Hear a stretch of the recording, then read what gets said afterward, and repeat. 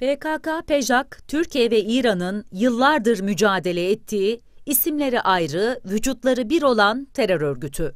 Ankara ve Tahran arasındaki terörle mücadele ve istihbarat paylaşımı anlaşmaları, geçtiğimiz hafta düzenlenen Yüksek Düzeyli İşbirliği Konseyi toplantısında başka bir aşama kazandı. İki ülke silahlı kuvvetlerinin eş zamanlı operasyonlarının ortak operasyona dönüşmesinin önü açıldı.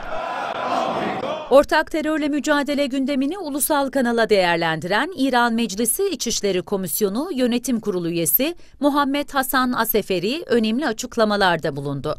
Aseferi her iki ülkeye hedef alan PKK-PEJAK terör örgütünün bölgede İsrail'in hedefleri doğrultusunda hareket ettiğine dikkat çekti. Ülkelerimizde bulunan terör örgütlerinin ortak kaynağı Siyonist rejim olduğunu biliyoruz. İsrail, İran ve Türkiye'de yaşanacak istikrarsızlıktan yararlanmak üzere pusuda. Eski İran Meclisi Milli Güvenlik Komisyonu Sekreteri Muhammed Hasan Aseferi, bölgede yaşanan sorunların çözülmesi ve özellikle terörle mücadelede bölge dışı aktörlerle işbirliğinin faydasız olduğunu vurguladı. Kendi bölgemizdeki sorunlara karşı işbirliğimiz oldukça önemli. Bölge ülkeleri, batılı ve bölge dışındaki güçlerin bölgeye ateşe atmasına imkan vermemeliler. Bu anlamda terörle birlikte mücadele çok önemli.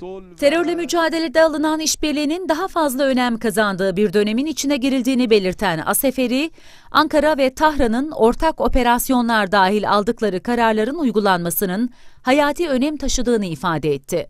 Bölgemizdeki sorunlarla mücadelede işbirliği esastır. Türkiye ve İran'ın ortak kararı ülkelerimiz aleyhine olan teröristlerin sonu gelene kadar ortak mücadele etmektir.